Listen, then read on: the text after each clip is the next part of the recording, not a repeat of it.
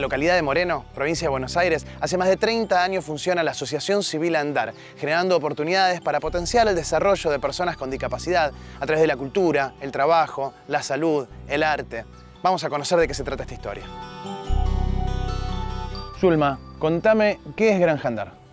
Bueno, Granja Andar es una asociación civil sin fines de lucro que trabaja eh, con personas con discapacidad, cuyo objetivo y cuya misión tiene que ver con mejorar la calidad de vida de las personas con discapacidad, desarrollando su potencial de una manera creativa. ¿Te parece si vamos entonces ahora a recorrer un poco la granja?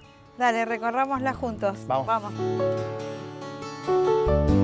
Esto es el área de catering. Los chicos normalmente acá desarrollan productos para ofrecerlos en algunos eventos según sea la modalidad del evento, a veces puede ser un desayuno, un coffee break o algunas especialidades como las que están haciendo hoy, ¿no? que es un pedido de, dulces, una mesa dulce, en donde incluye esta tarta tan rica que están haciendo, ¿no? Sí. ¿De qué es la tarta? ¿De qué están haciendo? De coco. ¿De coco?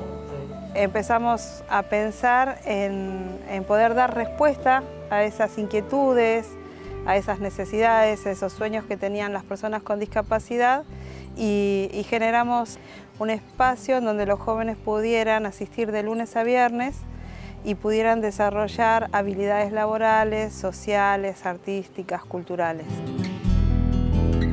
Bueno, estamos en el vivero. Vamos a ver qué, qué, es lo que hacen los chicos. Sí, este es el grupo de Huerta y Vivero. Son un grupo de jóvenes que se ocupan de transmitir conocimientos a niños, adolescentes y adultos que vienen a visitar un proyecto muy bonito que es la granja educativa, pero a la vez ellos hacen cultivos de, plantines para la huerta, que es una huerta orgánica, y también hacen un vivero de cactus, bonsai y suculentas. Bueno, vamos a conocerlos. Vamos a ver qué hacen. Bueno, ¿qué están haciendo por acá, Martín? Contanos. Vamos a preparar solo un taller de, bonsai. ¿Sí? Vamos a empezar a, contar más que nada qué es un bonsai antes de, de poder prepararlo qué significa qué es, el fin que tiene y después ya empezar a, trabajar para armarlo.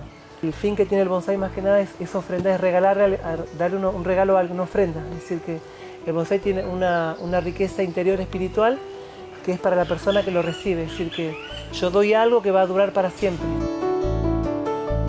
Juntamos con cada uno de los jóvenes a ver cómo fue su año de trabajo, cuáles son esas cosas que les gustaría desarrollar e intentamos apoyar cada una de esas iniciativas, tratando de, poder dar respuesta a todo lo que para nosotros es posible. ¿no?